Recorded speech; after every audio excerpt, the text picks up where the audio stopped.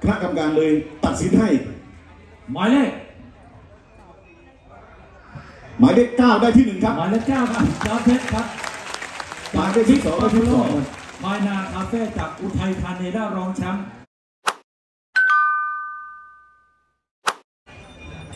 ตอนนี้ครบนะฮะเพราะว่าจุดพักคอยทำหน้าที่ได้เยี่ยมมาก ขอเสียงปรบมือเป็นการขอบคุณเสียกรควายไทยนะครับพี่น้อง ไม่มีเขาญาติคนนี้ครับพี่น้องวันนี้จัดระเบียบได้ดีมากต้องขอบคุณนะครับ ผมจะเล่าบอกชื่อและพ่อพันธุ์และก็ค่ายนะครับ แล้วก็คนจูงยกมือด้วยครับ หมายเลขหนึ่งครับ ยกมือครับต้นหอมเป็นลูกก้าวเจริญกับแม่สายปานเจริญจากบอยนัทพลฟาร์มเชียงใหม่นะครับ หมายเลขสองครับ เจ้าเฟื่องฟ้าเป็นลูกของก้องฟ้ากับแม่สวย แก่นทองฟาร์มจังหวัดเชียงใหม่นะครับ หมายเลขสามครับ หมายเลขสามยกมือด้วยครับ อยู่ไหน หมายเลขสามมาแล้วน้องน้ำหวาน เป็นลูกของใหญ่ห้างนา กับแม่สายอุทัยจิรวัตรฟาร์มเชียงใหม่ หมายเลขสี่ครับใบเตย มาแล้วครับ เป็นลูกดาวเหนือกับแม่สายเพชรอุดร จากอุดมฟาร์มเชียงใหม่ หมายเลขห้าโพทองครับ เป็นลูกแก้วฟ้ากับใบโพ เจ้าขุนทองฟาร์มจังหวัดหนองคายหมายเลขเจ็ดมาแล้วครับหมายเลขเจ็ดล้อมดาว ลูกบิ๊กอุทัยกับแม่บุญล้อมมาชาฟาร์มอุทัยธานีหมายเลขแปดจับจันครับมาแล้วครับ จันสง่ากับแม่มาลัยหนึ่งสามแปดควายงามฟาร์มทุ่งทองจังหวัดชัยนาทหมายเลขเก้ามาแล้วครับน้ำเพชรเป็นลูกเพชรว่านันกับแม่สายอุทัยดิกบัฟฟาโลควายนาคาเฟ่ มะเหมี่ยวอุทัยธานีนะครับจังหวัดอุทัยธานีหมายเลขสิบมาแล้วครับ น้องวันเพ็ญพ่อทองคำกับแม่สายอุทัยจุลและชาฟาร์มใช่ไหมฮะมาชาหรือเปล่าครับดูตัวเลขเลยดูตัวเลขอ๋อดูตัวจุเลลขและชาฟาร์มดูผมเลยหรือมาชาฟาร์มโอเคโอเคเอาผมมองว่าน่าจะเป็นมาชาฟาร์มอุทัยธานีหมายเลขสิบเอ็ดแก้วตาครับหมายเลขสิบเอ็ดอยู่ไหนฮะมาแล้วครับ แก้วขวัญนะลูกแก้วขวัญกับสายบิ๊กอุทัยโดนัทฟามสองลำปางหมายเลขสิบสองครับชอบประการมาแล้วครับ เป็นลูกของก้าวเจริญกับแม่ช่องเงินบิ๊กภูฟาร์มหนองบัวลำพูหมายเลขสิบสามแตงไทยมาแล้วครับ แม่พ่อทองคำกับแม่แตงโมเจเอ็นฟาร์มพายงามเมืองลำปูนวัดลำปูนนะครับ หมายเลขสิบสี่ทองคำมาแล้วครับ ลูกดาวซีพีสายปานสิรินโดนัทฟามสองลำปางกับวัดลำปาง และสุดท้ายหมายเลขยี่สิบอยู่ไหมฮะตรงไหมหมายเลขยี่สิบมาครับก้าเวียงพิงนะครับ ลูกเก้าเจริญกับแม่มารวยนะครับวอกิติ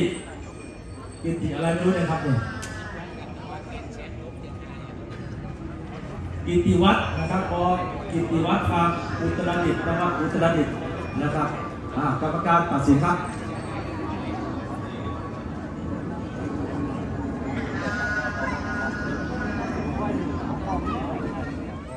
คิดดีหรือยังไงหรือไม่เข้าหรือยังไง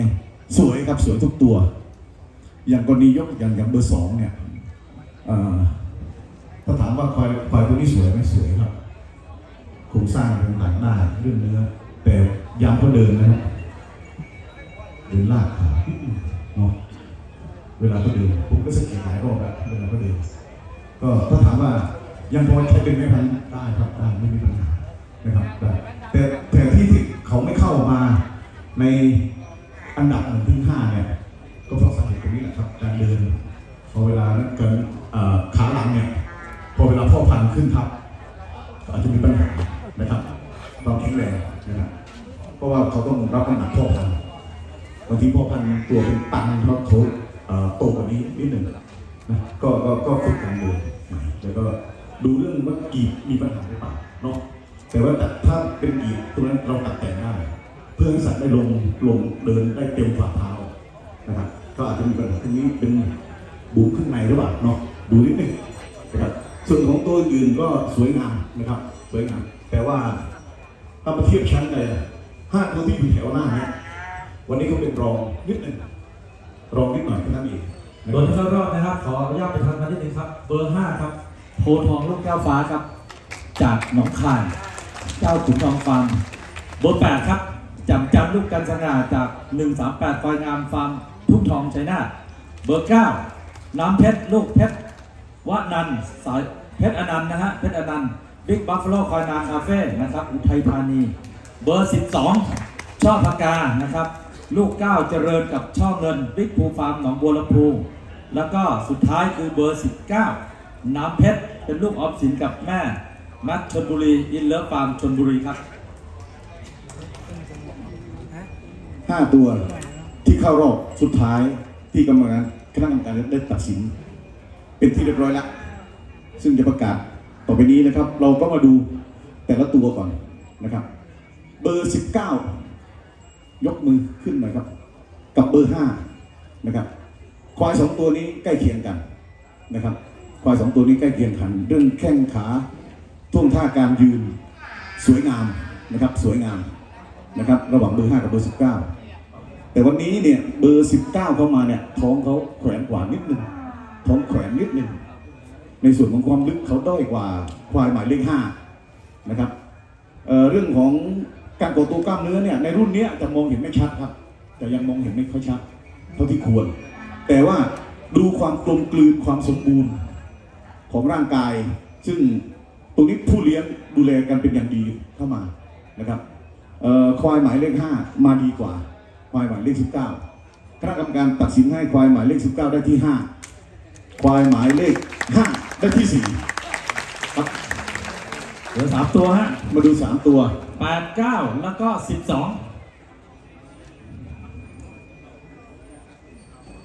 หมายเลข8นะครับควายหมายเลขหมายเลข8ครับ8กรรมการเรียกตัวไหนที่ใจหายก่อนเลยนะนี่ มาดูควายหมายเลข8ครับเอ่อเมื่อเทียบกับควายหมายเลข 12 และหมายเลข9นะครับเอ่อวันนี้เนี่ยควายหมายเลข9เออควายหมายเลข 12เนี่ยเขา เขามาแข้งขาเขาใหญ่นะครับ แข้งขาเขาใหญ่ แต่ควายหมายเลข8เนี่ย ถึงจะอ่อนด้อยกว่าน้อยหนึ่ง แต่เขาก็มีความสวยงามนะเขาก็มีความสวยงาม แล้วการยืนของเขาเนี่ยช่องอกเขาก็พองงาม ความลึกของลำตัวพอได้นะครับ แต่ว่าถ้ามวยในเวทีนี้มันแพ้กันที่กระดูกนะครับแพ้กันที่กระดูกเพราะควายรุ่นเล็กเนี่ยขนาดนี้เนี่ย ถ้ากระดูกขนาดเนี้ยไปได้นะครับมันแพ้กันตรงนั้นคณะกรรมการจึงตัดสินให้ควายหมายเลขแปดได้ที่สามครับเอาละครับเหลือเหลือสองตัว9กับ12อ่าผมขอเสียง sound แป๊บหนึ่งนะ หมายเลข9เนี่ย ชื่อน้ำเพชร เจ้าลูกเจ้าเพชรอนันต์กับแม่สาวไทยจากบิ๊กบัฟฟาโลควายนาคาเฟ่จากอุทัย หมายเลข 12 ช่อประการลูกเก้าเจริญกับแม่ช่อเงินจากบิ๊กภูฟาร์มหนองบัวลำภูพี่น้องลองจับสายตาดูสองตัวนี้ครับ หมายเลข 12 มาจากหนองบัวลำพูหมายเลขเก้ามาจากอุทัยใครคิดว่าวันนี้แชมป์จะอยู่อุทัยขอเสียงปรบมือครับ ใครคิดว่าวันนี้ควรมอบแชมป์ให้แก่หนองบัวลำพูขอเสียงปรบมือครับ อะอยู่ที่กรรมการแล้วครับตัดสินครับ กับควายสองตัวนี้ โดดเด่นคนละอย่างกันนะครับ ควายหมายเลข 12 เนี่ยก็โดดเด่นเรื่องของโครงสร้างแข้งขาใหญ่ แต่ควายหมายเลข 9 นั้นเขามองถึงเรื่องความกลมกลืนแข้งขาพองงามนะครับเหมือนนางสาวไทยอย่างที่นำเรียนกันแล้วก็ความยาวของลำตัวของหมายเลข 9 เนี่ยเขายาวสวยความลึกเขาได้ นะครับเขาได้พอมองที่แผ่นหลังเขาก็ใกล้เคียงกัน แต่ความโค้งมนของบั้นท้าย ความเกาะตัวของกล้ามเนื้ออะไรต่างๆเนี่ยซึ่งจะมีการพัฒนาในอนาคตอมองว่าควายหมายเลขเก้าณวันนี้ดูดีเพราะสูงกว่ากว่านิดนึง สุดท้ายนะฮะกรรมการก็ถกกันเยอะนะความสวยงามของหางนะครับ ความสวยงามของหางเนี่ยควายหมายเลขเก้า ก็โดดเด่นโคนหางเขาใหญ่ด้วย โคนหางเขาใหญ่กว่า การเกาะตัวของอตอนแรกเนี่ยพวกเราก็ดูว่าเรื่องของเต้านมเอ๊ะมันชิดไปเปล่า พอมาดูตอนที่เขาฉี่เมื่อกี้ก้มดูกันไม่ใช่ พอดูจริงๆครับแค่เหยียบขานิดหนึ่งอะยังสวยงามอยู่ นักควายรุ่นขนาดนี้ เพื่อมามองณเวลานี้คณะกรรมการเลยตัดสินให้หมายเลข หมายเลขเก้าได้ที่หนึ่งครับ หมายเลขเก้าครับยอดเพชรครับหมายเลขที่สองได้ที่สองมายนาคาเฟ่จากอุทัยธานีได้รองแชมป์ช่อปากกาลูกเก้าวเจริญจากบิ๊กภูฟาร์มของบัวลำพูครับที่3จำจันทร์นะครับจาก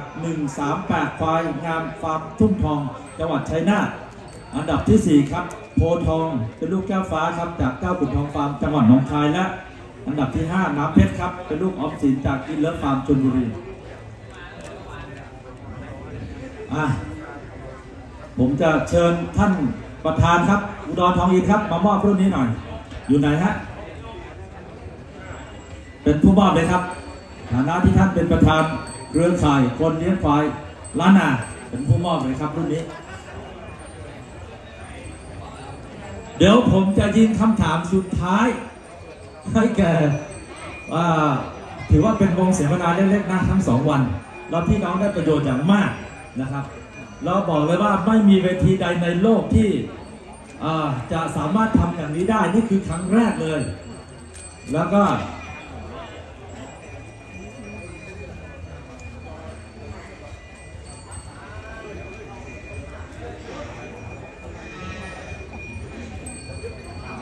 ท่านนายกอบจจะมาสามโมงตรงนะครับ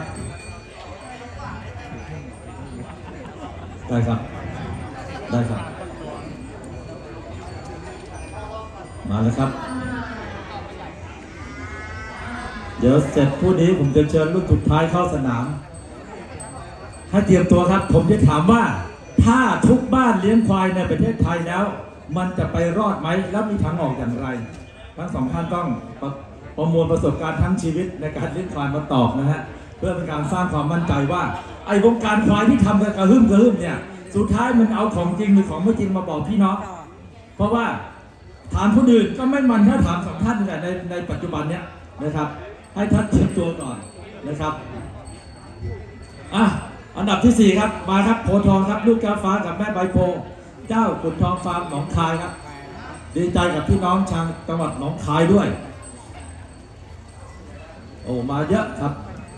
แม่ผมชอบสุดคือไอ้เจ้าตัวเล็กครับ มันดูรักควายมาก ขี่หลังได้ไหมครับลูก ไม่ได้เนาะเดี๋ยวตกควายแล้วจะลำบาก เอาอยู่ข้างหน้าจับถ้วยแล้วกันนะลูกอ่ามารับถ้วยเลยลูกมารับถ้วย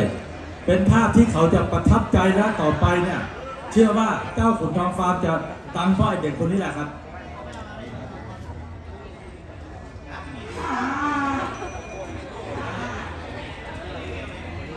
อ่าขอเสียงปรบมือให้พี่น้องหนองคายด้วยครับดีใจด้วยนะครับอาจารย์สง่านี่ก็เป็นลูกของ ตัวไหนนะฮะพญาหงส์พญาหงส์ก็เป็นลูกอ่าเป็นพ่อของเจ้าแก้วฟ้าอีกตัวหนึ่งนะฮะพญาหงส์เสียดายครับพญาหงส์จากเราไปอย่างไม่มีวันกลับนะนี่คือพันธุกรรมของเขานะครับรองแชมป์ครับ ช่อพกาครับ ลูกก้าวเจริญกับแม่ช่อเงินบิ๊กทูฟาร์มผมรู้ว่าท่านนายกจะต้องไปถ่ายรูปด้วยเพราะลูกก้าวเจริญด้วยป่ะ อ๋อผมไม่อนุญาต เดี๋ยวท่านตอบคำถามผมก่อน ดีใจกับพี่น้องชาวหนองบัวลำพูครับ จากบิ๊กพูฟาร์ม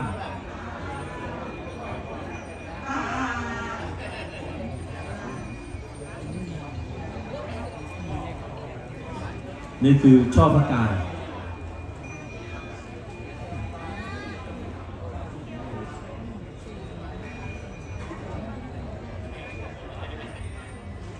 และแชมป์ครับ ดีใจด้วยกับน้ำเพชร ลูกเพชรอนันต์กับแม่สายอุทัยจากบิ๊กออฟโลไพนาคาเฟ่ครับ อุทัยธานี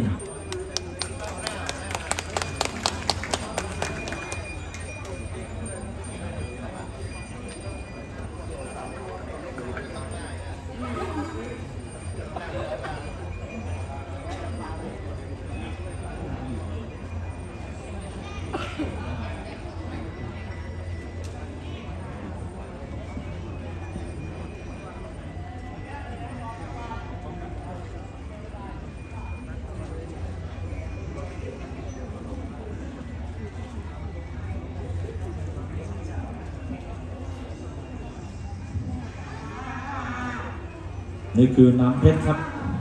จากบิ๊กบัฟฟาโลปานาคาเฟ่อุทัยธานี ยินดีด้วยครับ